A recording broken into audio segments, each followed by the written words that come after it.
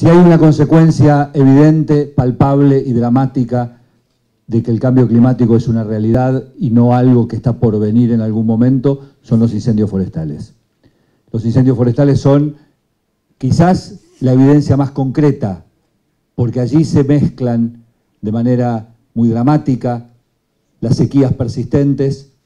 esos eventos extremos de los que hablan los científicos desde hace más de 20 años como una de, uno de los resultados más palpables también del cambio climático, el estrés hídrico de la vegetación, el aumento sistemático de la temperatura. Y eso con algunas prácticas arraigadas que deberemos cambiar hacia el futuro precisamente por el influjo del cambio climático y por algunas venalidades muy constitutivas de algunos sectores productivos que insisten en privilegiar sus intereses particulares por sobre el bien común, tenemos una cantidad de incendios intencionales cada vez mayor y la dificultad creciente para poder controlar esas situaciones. La única manera para poder enfrentar eso es con una política de Estado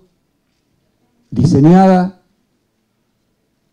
desde el Estado Nacional y coordinada y articulada con cada una de las provincias, que son en definitiva las que ejercen el dominio sobre los recursos naturales.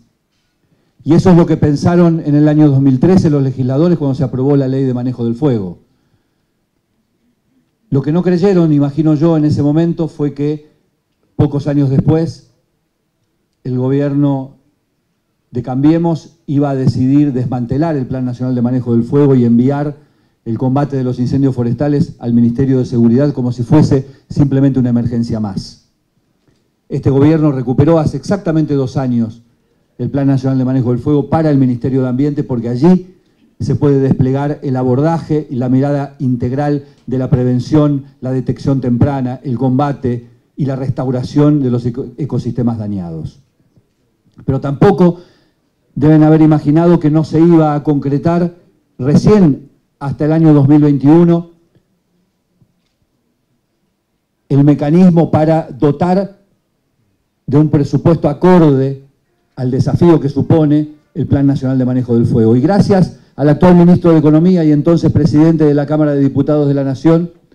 pudimos incorporar una modificación legislativa a la ley de creación del Plan de Manejo del Fuego que le otorga hoy a ese sistema la posibilidad de recaudar una alícuota del 3 por mil de todas las pólizas de seguro que se emiten en la Argentina y eso le da al sistema independencia financiera, independencia económica y previsibilidad en el tiempo. Y la posibilidad, por lo tanto, de invertir en equipamiento